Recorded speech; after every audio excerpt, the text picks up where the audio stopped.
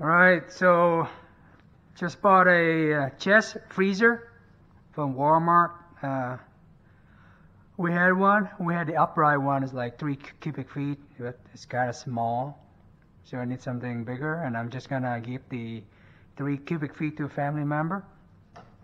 So I found this on sale on Walmart. It's a five cubic feet chest freezer. Uh, it's like 142 before, like a couple months ago, like 168, you know. There's also a 7 cubic feet for like 159, but we don't have the space, so 5 cubic feet is fine. Uh, normally, the uh, complaint with uh, this is there's some damages. So I don't know if there's any damages, but. Oh.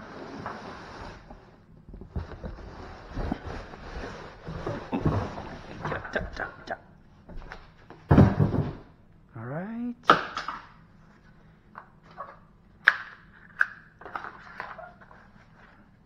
People complaining about this uh, just oh, got static shock.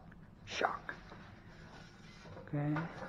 Oh, looks like particle board. I guess you could use this for something useful. So I got a particle board on top. Styrofoam.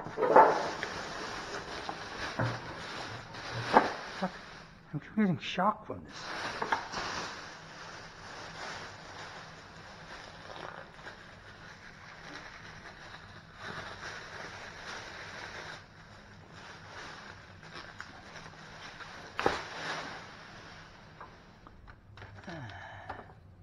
Electrical core here.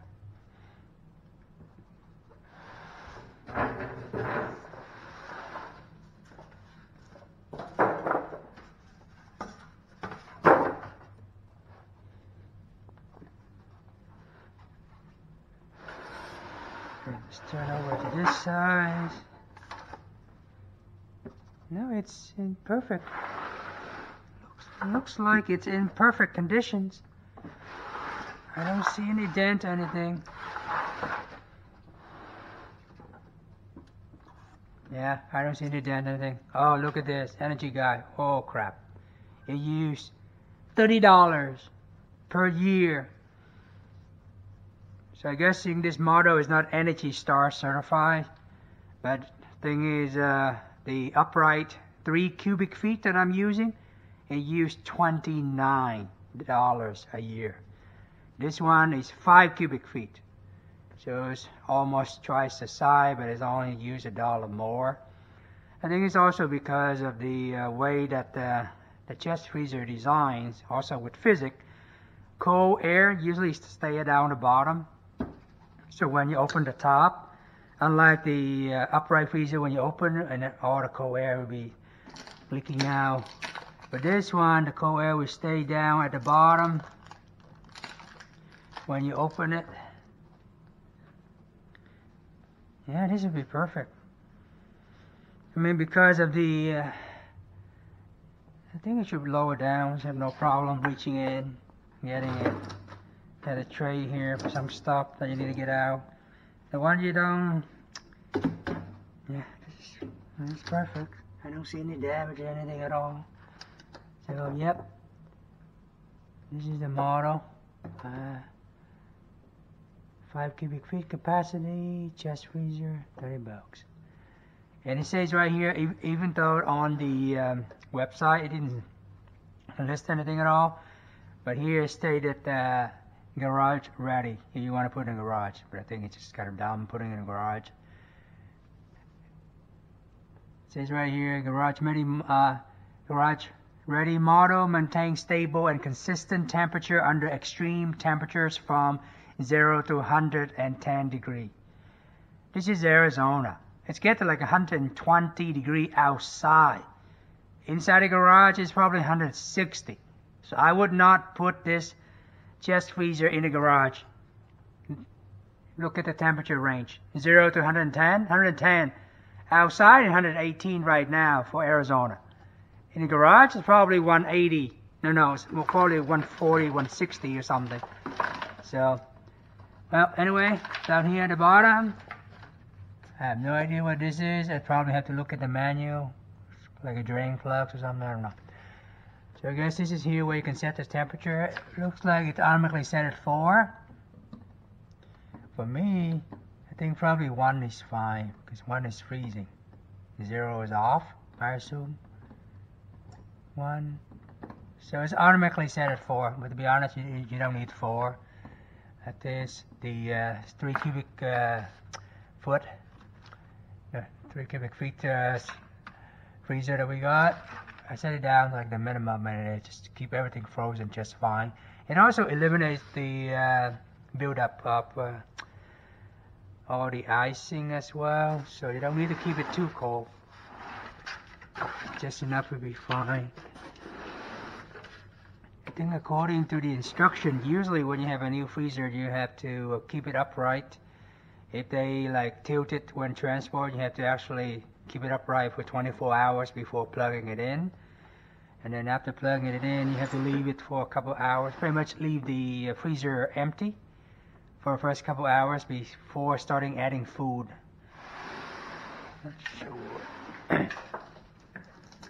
Yeah.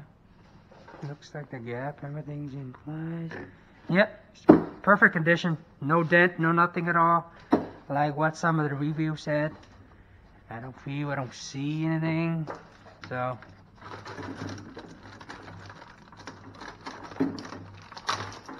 $142 on Walmart. I think it's like, I think even cheaper than the one at Sam's Club. Sam's Club are like 160 for 5 cubic feet. Hmm.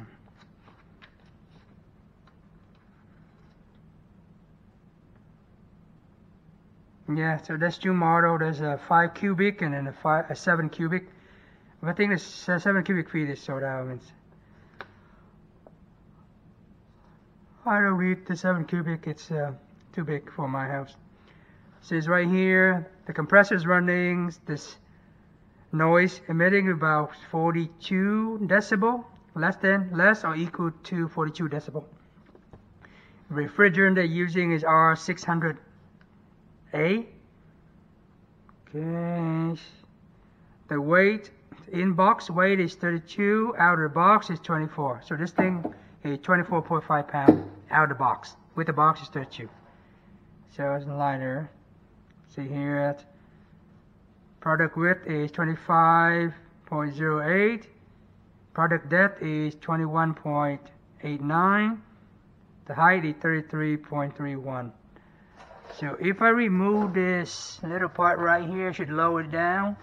I think it should, most people should able to reach in just fine. I mean, 5'2", 5'3", people should have no problem reaching down the bottom, getting them. Let's see, temperature range. So this machine will keep the temperatures range between 10.4 Fahrenheit to 11.2 Fahrenheit. Mm. Yeah, so even in the manual it says garage ready, uh, but only for temperature between 0 and 110. So you live in Arizona during the summer, that is dumb putting it in. So you got some troubleshooting here. Say give you proper freezer care and cleaning. Let me see. Frozen food. Give you estimate how many. Oh wow. So steaks, you could put you could keep it in here for six to twelve months. Chicken and turkey. Chicken or turkey whole one year. Wow, I didn't know that. Hamburger, steak, ground beef, chops, three three to four months. There's a manual defrost. This is a food storage basket. Basket I think there's Amazon or eBay, they probably sell these two. I don't know. I might need. Looks like I can fit another one. Or maybe two can squeeze in. This way you can get grapple on top. You don't have to bend down. But they have like a little height up here. So there's three level apparently. So it's mm-hmm. good. Just put the things you don't use down all the way down the bottom. Okay, for operating your freezer, once the freezer in proper place, once once the freezer is in its proper place, plug in electrical outlet having 115 volt and 15 amps. Okay, and that's pretty much every electrical outlet here in the US. Set the, uh, set the temperature on the control knob to 1, being the warmest, and 7 being the coldest. 7, 1 to 7. Okay, 7, 1 is warmest. Okay, 7 is coldest. I keep the other freezer on 1 is fine, so I don't need it to be coldest because I don't have to deal with all the ice and build up. Okay, initial set the temperature, initially set the temperature on 4. Place the food inside the freezer. After using the freezer for 24 hours, set the freezer to your design setting. Okay, so they wanted to set the temperature at 4 first. And put the food inside the freezer. And leave it for 24 hours and then change it to whatever setting you desire.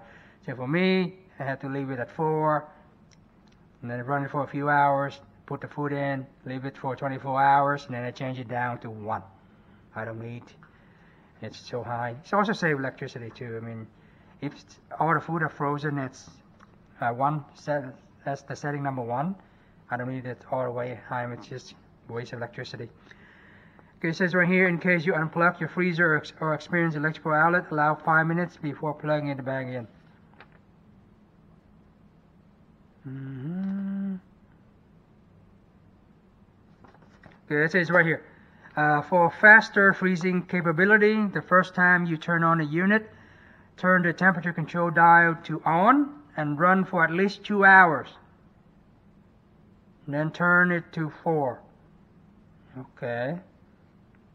And it says right here, note if the freezer has been placed in a horizontal or tilted position for any period of time, wait 24 hours before plugging in the unit.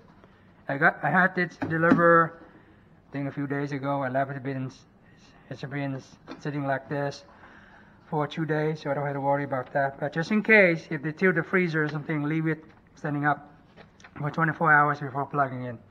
If you want a faster freezing capability, for the first time, turn the unit on, turn the temperature control knob to on, and then run for at least two hours, and then turn the dial to 4, and then change it back after 24 hours. I think that's pretty basic. I mean, there's really...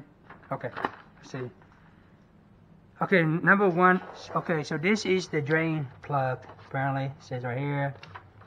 And this is the power button. This is run, this means it's running. And it's number three. So this is the compressor on indicator. It's when the compressor is on, it's green light. And two, the control knob. Four is the power indicator. And five is the vinyl coated steel wire removable storage ba basket. So this one. That's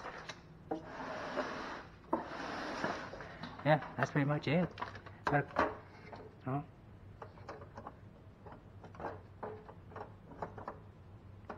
a power cable.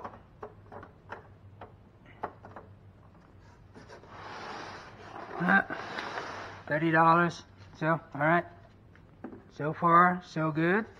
No da no damage. Alright, if you're interested, uh, I checked the website before. This freezer is still available as of this video. Uh, I believe the 7 cubic feet is sold out though. So you want to uh, check the website. Maybe they restocked it. I don't know. But the 5 cubic feet, uh, as of right now, still available. Okay, this is Frigidaire chest freezer 5 cubic feet. This is the model number if you need it. It's uh, so EFRF5003-6COM.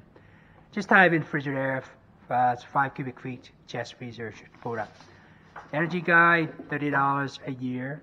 It's not, I don't see an Energy Star logo here, so it's not Energy Star certified.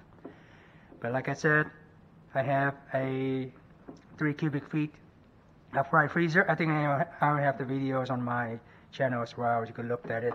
It's $29 per year. and it's for three cubic feet. This one is five cubic feet, so it's almost twice the size, it's only used a dollar more. So it's up to you. I know there's a lot of review complaining about me having dents and all that, but as you could see, there's no damage on my unit. So I guess it's depend because also I live in a house. They don't have to carry all the crap up like if you live in an apartment or something. So the other review might be that they live in apartments like Thais.